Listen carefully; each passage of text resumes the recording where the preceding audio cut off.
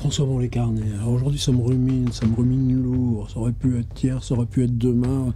Voilà, là, c'est, c'est aujourd'hui. Jean-François Lemerle. Ça vous dit quelque chose? Moi, je vois l'ordi, vous ne le voyez pas.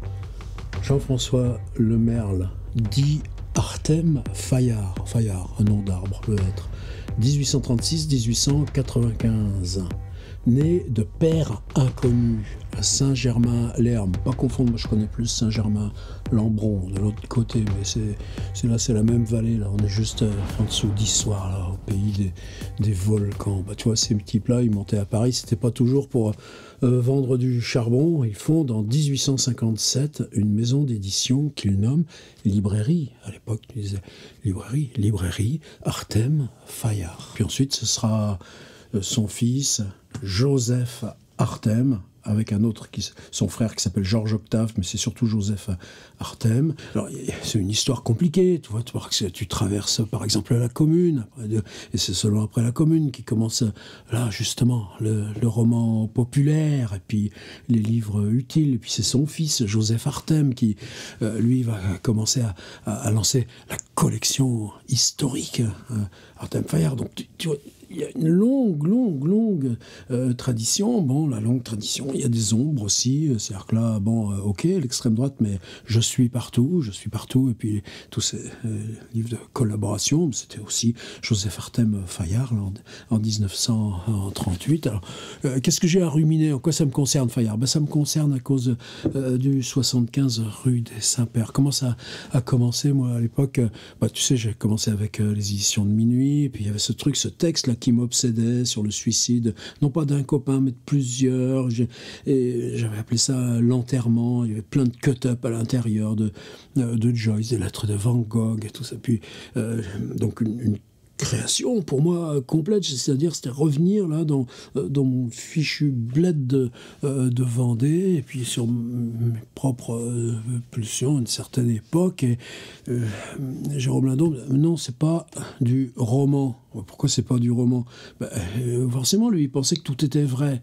Mais c'est ça l'art du roman, de faire croire que c'est vrai. Alors ce texte, l'enterrement. Alors Pierre Michon, Pierre Michon était déjà copain depuis un moment, c'est lui à ce, ce moment-là, l'édition de minutes. Mais viens chez Verdier. C'est quoi Verdier? C'est qui Verdier? Viens, viens, viens. Et puis, venait de sortir, là, son, sa vie de Joseph Aroulin, parce que lui aussi, après Vie minuscule, ah ouais, maintenant Vie minuscule, livre de légende chez Gallimard. Mais à l'époque, ça en était vendu 300 exemplaires, ils n'avaient pas voulu euh, autre chose. Donc, Verdier.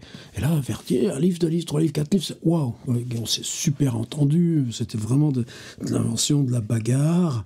Et puis moi, à ce moment-là, il était temps de quoi? Bah, Que j'ouvre cette case-là de l'adolescence en plein essor de l'industrie culturelle, du pop, euh, la révolution de l'arrivée de la télé, tous ces trucs. Et donc, moi, le personnage, c'était Keith Richards. Keith Richards et les Rolling Stones. Et à partir de Rolling Stones, je retrouvais là toutes ces années euh, euh, d'adolescence. Et il était temps, ça faisait déjà dix ans que j'accumulais des bouquins de la doc et ça me servait déjà à comprendre. Moi, l'adolescence, j'ai rien, j'ai pas.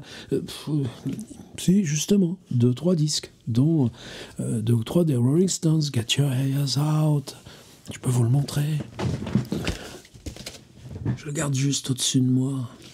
Et là, Bobillet de Verdier, on avait beau s'entendre comme des frères, mais gauche prolétarienne, etc.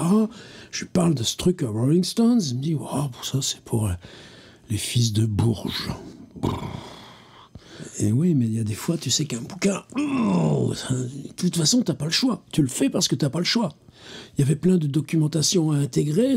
Ah oui, mais et, si ça aussi, c'était une dimension tellement importante du monde contemporain J'ai eu la même chose avec Bourdieu aussi. Euh, euh, il y avait un passage dans ces trucs sur 68 sur la, les, valeurs symboliques de, moi. J'ai dit, mais ça, cette question de symbole, euh, c'est chez les Rolling Stones qu'il faut. Mais regarde avec des yeux comme ça. Bon, eh ben là encore, Pierre Michon, le Pierrot, il me dit, mais si t'en parlais à Bétourné, Bétourné, Oh, moi, c'était un vague nom. Ah oui, mais Pierrot commençait à travailler sur ce, ce qui deviendrait là, ce recueil d'entretien, Corps du Roi et tout ça, livre aussi. Alors, on n'est pas dans, dans l'œuvre de fiction, mais on est dans un ensemble, bon, qui pour moi fait partie. Si on veut comprendre Michon, on passe aussi par ça. Bon, ben, Bétourné, on, se rencontre à, à déjeuner une fois, deux fois. Et là, bah, on a travaillé plusieurs années ensemble. Euh, Détourné, j'ai fait une autre vidéo, je vous mettrai le lien à la fin, euh, où justement le livre qu'il a fait de ses, ses mémoires euh, d'éditeur. Là, on parle Rolling Stones, puis je commence à lui raconter ce que je, pourquoi je voulais ça, qu'est-ce que je voulais faire. Puis euh, je lui dis, mais moi j'ai un problème. Par exemple, si je mets le nom Chuck Berry, si je mets le nom de John Lennon, je peux pas supposer que la personne qui me lise, elle, euh, saura qui c'est. Ni John Lennon, ni Chuck Berry. Il faut que je fasse à chaque fois une espèce que le livre se porte tout seul. Là, avec tout ce qu'il y a à dire, ça va faire mille pages. Et bien tournez.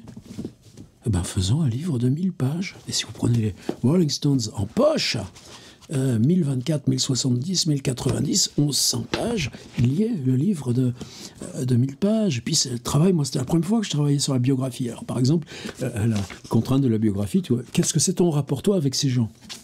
Alors, bon, moi, 14 ans, les stations-service à Ruffec en 1967, et puis j'avais évidemment, là, Keith Richards, Brian Jones, ils étaient passés là, avec euh, euh, la Bentley, là, en partant à Tanger, grand échange, là, avec Anita Pallenberg au milieu.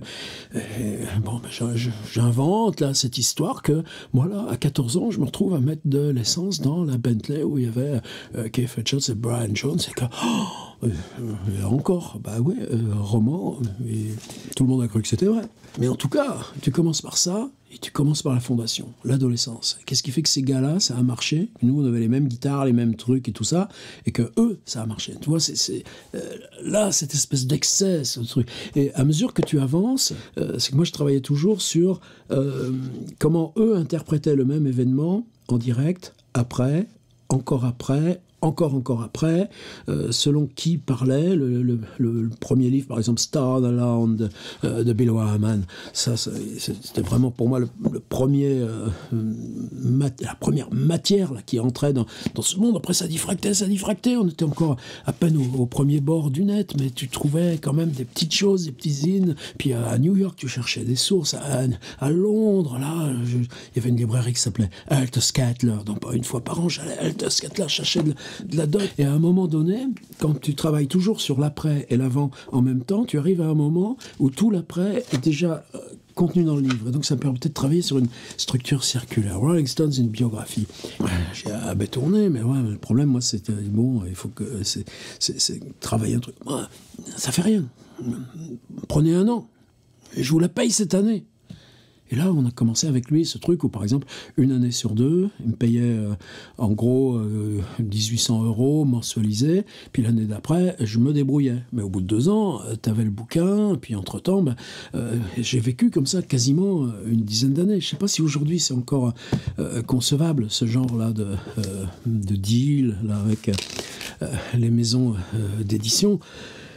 Et entre-temps, c'est mon premier livre chez Fire, Rolling Stones, là, 2002, avec ses, ses 55 000 exemplaires. Puis ensuite, ils l'ont passé euh, en poche. Alors en poche, euh, plusieurs éditions aussi, donc euh, au moins deux fois ou trois fois euh, 12 000. Alors maintenant, est-ce qu'il se vend encore? Bah ouais, tous les ans, quelques 200 balles, 300 balles, mais bon.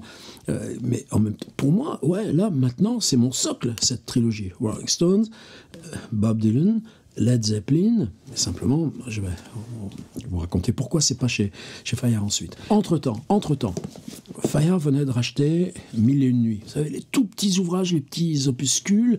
Et là, Bétourné, on- en discutant, pareil, là, on se voyait une fois par mois, là, on se prenait un casse-croûte le midi, dire, mais pourquoi on ferait pas un truc, là, où euh, c'est pas la, la religion de la littérature contemporaine, mais des tout petits bouquins pas chers, à deux balles ou quatre balles, pourquoi on ferait pas des expériences de littérature contemporaine à l'intérieur?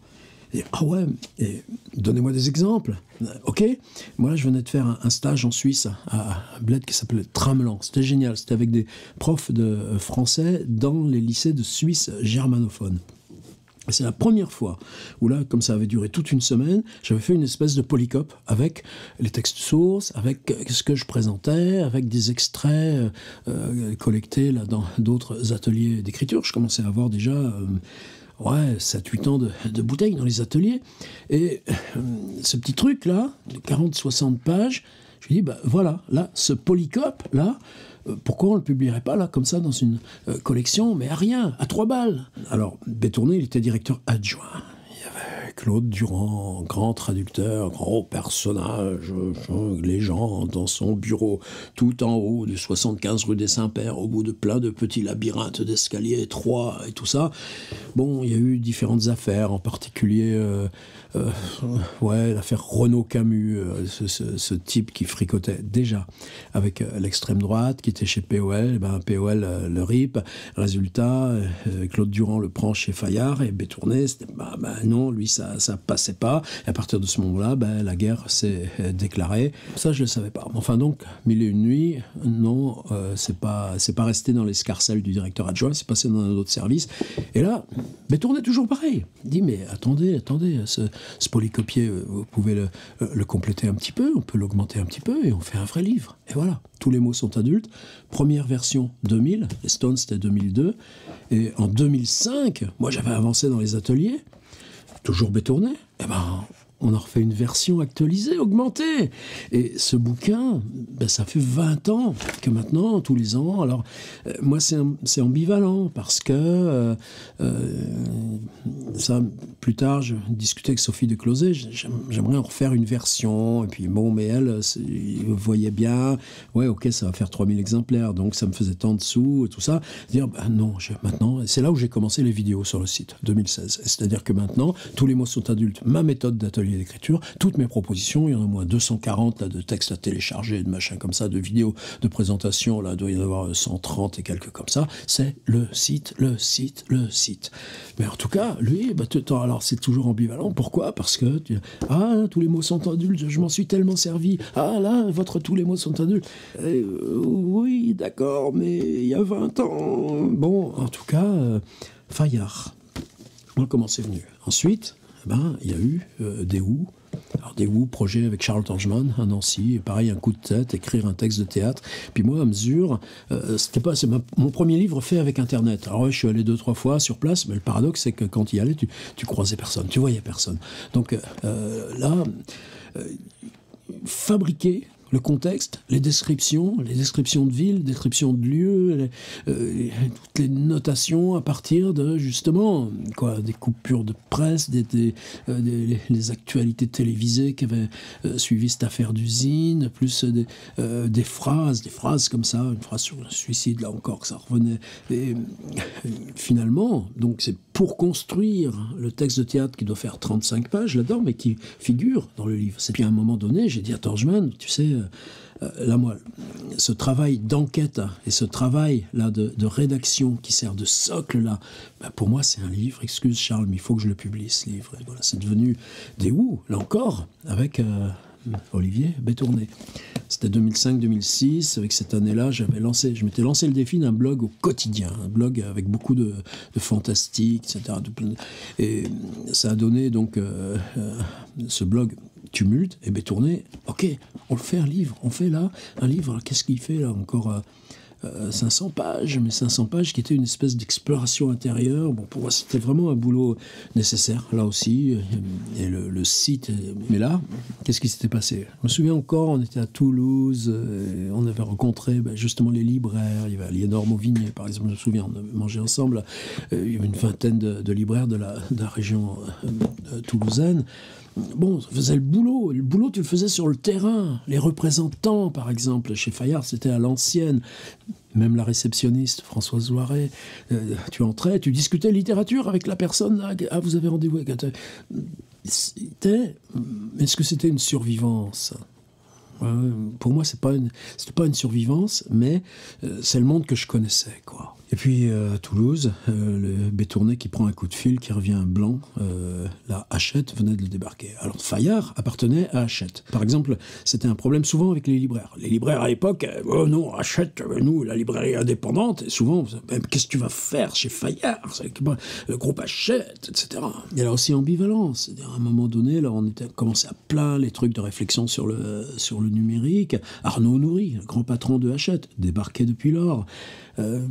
Fait savoir qu'il euh, aimerait bien qu'on déjeune. Alors, c'est sur le front de scène, leur siège social, avec un maître d'hôtel, le truc. Enfin bon, super, super discussion avec, euh, avec Arnaud Nourri. On n'a jamais cessé le contact depuis lors. beau paradoxe aussi. N'empêche que bah, c'est lui qui a viré euh, Bétourné. Alors, alors, il se passe quoi dans ce truc depuis un an? Bah, C'est la grande valse. Hein. Hein, grande entité, famille Lagardère, fortune en vendant des missiles, Matra, etc. Eh ben, vendu à Bolloré. Bolloré, c'est pas un tendre, c'est quelqu'un qui euh, étale froidement son appartenance à milieu de droite, extrême droite. Pour ma question, c'est la sienne. Mais en tout cas, c'est la puissance du fric dans son cynisme. J'achète, achète. Et hop, tout passe dans l'escarcelle de monsieur le milliardaire. Simplement, Commission européenne, lui, c'était déjà le patron de Editis. Editis, c'est le deuxième groupe après Hachette. Avant, après, t'as les Gallimard, puis t'as la, la, Constellation, le Seuil aussi, a été revendu deux fois, trois fois maintenant. Ça, médias, participation. Commission européenne dit, bon, d'accord, vous gardez Hachette, mais à ce moment-là, il faut vendre Editis. Editis, c'est quand tu fais euh, de la BNF, là, puis que tu continues le boulevard, un magnifique bâtiment vitré, futuriste et tout ça. Simplement, les mecs, ils sont toujours en grève, ils savent pas à quelle sauce ils vont se faire bouffer. Et dans cette espèce de jeu, ben, Editis a été vendu à un autre, un milliardaire un peu plus petit, Bolloré. Oh, hé, Kretinsky Kretinsky qui. Oh, je te passe le truc. Ouais, oh, je, te prends le truc. Et puis tout, boum, boum, toutes les petites marques à l'intérieur de ça, cette valse. Simplement, Fayard, il y a déjà eu des histoires il y a deux ans. Par exemple, alors, quand j'ai fait euh, Rolling Stones, ce que c'est, non, tous les mots sont adultes, c'était autre chose, non, c'était Déou. On travaille avec une jeune stagiaire. Enfin, elle était là, ouais, elle était encore en CDD et tout ça. Sophie de Closet. On a travaillé ce livre ensemble. C'était une autre qui avait, avec qui j'avais travaillé euh, tous les mots sont adultes et, euh, Rolling Stones, mais elle est décédée depuis. Qu'est-ce que j'ai oublié aussi? C'est-à-dire que justement dans ce rapport avec Bétourné, il y avait, mais, euh, vous, vous, lisez quoi? Vous voyez quoi? Ou là, dans, dans vos trucs numériques, vous avez repéré qui? J'ai amené des auteurs. Rétrospectivement, c'est une, responsabilité aussi. Thierry Benstengel est toujours resté depuis lors chez Fayard. Soren Berlotier. Soren, euh, depuis lors, fait son chemin à, l'écart. Soren, c'était un texte sur euh, le suicide de Kerasim Luka. Kerasim Luka qui se jette dans la Seine. Elle était rencontrée euh, la, veuve de Kerasim Luka. Des textes, elle avait travaillé sur, sur ses archives. Bon, bah, où tu publies un truc comme ça? Bah, Bétourné pour le Paris. C'est important ces paris, parce que tu deviens auteur quand? Parce que tu as écrit un manuscrit? Non, tu deviens auteur parce que le premier livre est publié. C'est le cas aussi de Philippe Vassé. Je crois que Philippe maintenant a continué ailleurs. Mais euh, c'est une histoire qui devient pour toi dans ta vie aussi une, euh, quelque chose euh, de, de, collectif. Tout ça pour dire que quelques années plus tard, Sophie de Closet devient la jeune directrice, la patronne de Fayard, à 35 ans. Ouais, quelque chose comme ça. ça quel beau signe. C'était une personne avec j'allais dire, euh, une entièreté. Elle était là. La dernière fois que je l'ai vue, justement, c'était dans le bureau, autrefois, de, de, Claude Durand. Moi, c'était pas exactement la même ambiance dans le bureau, mais c'était le même bazar. Et euh, là, vous le savez tous, ces histoires, ces trucs avec Sarkozy, Sarkozy qui est au conseil d'administration de Hachette, ben. Voilà, Sophie de Closet a été débarquée. Ah ouais, elle a rebondi. Elle est devenue la directrice de Flammarion. Pas mal d'auteurs sont partis avec elle. Simplement, moi, c'est des livres qui sont en stock. Là, j'ai pas de manus à proposer. Euh, sans doute, ce serait la première à qui j'irais le proposer. Simplement, c'est chez Gallimard. Et Gallimard, là encore, ils m'ont tellement fait la misère, euh, au moment de Vieil homme et de la mer, etc., que euh, par envie, là, de, de, changer une appartenance pour, pour une autre. C'est le système même, là, qui nous embête. Donc Sophie part, et puis remplacée, et puis là, la personne qui a remplacé parce qu'elle plaisait à Sarkozy, voilà qu'elle est encore beaucoup trop euh, libre dans la tête pour Monsieur Bolloré. Monsieur Bolloré trouve une autre dame, une autre dame qui a bien fait ses preuves côté Zemmour. Mais je veux pas entrer dans ce truc, ça ne m'intéresse pas, c'est vol. Et, mais c'est vol, mais c'est des carnassiers, tu comprends? Homme ou femme, carnassier, carnassière. En ce moment, c'est le conflit ouvert, tu comprends? Euh, Celle de Fayard, elle résiste. L'autre, on, dit, ah mais non, toi, on va te donner Mazarine. Alors Mazarine, on le prend, on l'enlève de, de, Fayard, et puis on va dire que quand même, ça, ça s'appelait Mazarine Fayard, et puis... Euh, donc là, C'est là où tu te dis, toi, Fayard mort ou Fayard pas mort, de toute façon, mort pour nous. Parce qu'on ne fraye pas avec ces gens-là. Oui, mais les contrats que tu as signés, c'est des contrats qui valent pour le temps de la propriété intellectuelle. Ce qu'ont gagné Balzac et Hugo autrefois. Ce que ne signent plus jamais les agents depuis bail. Aujourd'hui, si je revenais à, publier des livres, je passerais par un agent, parce que les agents ils disent, ouais, ok, contrat de 10 ans euh, euh, renouvelable par tacite consentement. Mais ça change tout, parce que euh, tout contrat commercial, c'est la loi est limitée à 10 ans. Et c'est comme ça dans tous les pays, dans toute l'Europe, dans le monde anglo-saxon aussi. Simplement en France, protection, grâce justement à la Société des gens de l'aide Balzac-Hugo, on a décidé que l'édition serait une exception au droit commercial. On signe un contrat basé non pas sur l'exploitation commerciale, qui en fait partie, mais sur la durée de la propriété intellectuelle. C'est-à-dire que si je suis mort, je te parle là que je suis mort, ça vaut encore pour 70 ans après ma mort. C'est quoi qui vaut pour monsieur Bolloré jusqu'à 70 ans après ma mort, en espérant qu'il sera mort avant, moi, pas sûr, eh ben, c'est cette part-là de ma vie. C'est ce kilo de vie qui m'appartient. Alors comment on va récupérer ça? Est-ce que tu peux faire jouer une clause de préjudice moral? Là, je me présenterai devant le tribunal, même avec le meilleur défenseur avocat plaideur, je dirais, en quoi le destin actuel de Fayard me lèse? De toute façon, ils font plus rien. Comme Albin Michel ne fait plus rien. Comme le seuil fait plus grand chose. C'est étrange aussi tout ça. Pourquoi on est sur Internet? Pourquoi c'est là qu'on se bagarre? Pourquoi je dis soutenez nos, nos petits trucs, nos Patreons et nos machins? Parce que faire la preuve que je serais lésé parce qu'un éditeur qui ne fait rien euh, change de main, ben, j'arriverai pas. Simplement, moi, ça, c'est ma vie. Alors, est-ce qu'il y aura une action de classe, de groupe Ah ouais, aux US, certainement, il y aurait ça. Est-ce qu'en France, on est mûr pour lancer une class action, une action collective pour dire euh, nous, auteurs, ayant des livres en stock chez euh, Fayard, euh, souhaitons reprendre nos droits. Du jour au lendemain, dit où là, je le ressors dans euh, ma collection euh, tiers-livre qui est belle, les trucs, et moi au moins je fais le boulot pour défendre mon.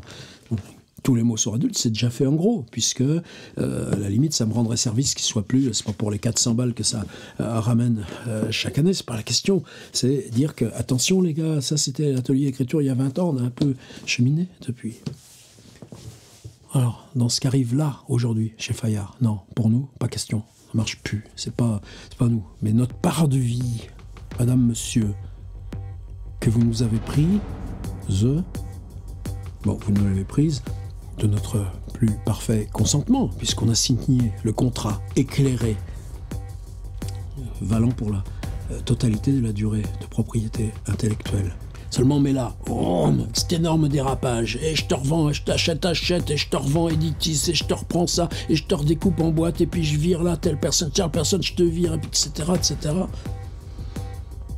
Nous, là, on est quoi?